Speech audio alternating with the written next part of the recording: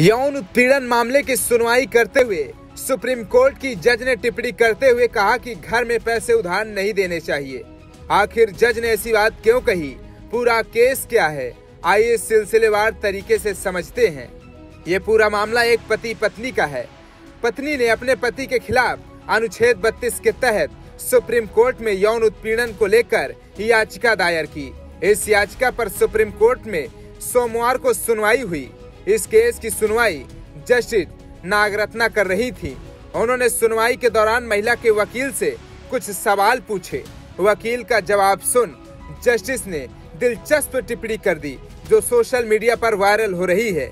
वकील ने बताया कि जिस कंपनी में उनकी क्लाइंट कर्मचारी है, वहीं पर उनके पति एम्प्लॉय हैं। वकील की इस बात पर जज ने कहा कि इस मामले में पति पत्नी को कानूनी सलाह लेकर केस वापस लेना चाहिए। नागरत्ना और जस्टिस दीपांकर दत्त की बेंच कर रही थी।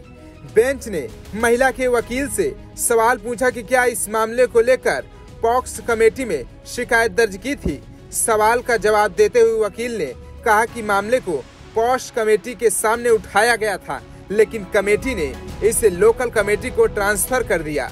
लोकल कमेटी ने इस मामले को शादीशुदा का मैटर बताकर कैंसिल कर दिया। वकील के इस जवाब को सुनने के बाद जस्टिस नागरत्ना ने कहा कि इस मामले को हाई कोर्ट लेकर जाना था।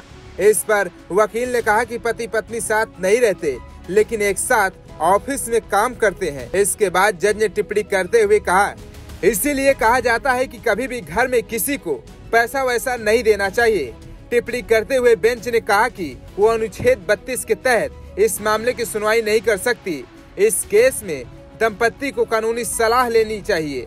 सुनवाई पूरी होने के बाद केस को वापस लेना पड़ा।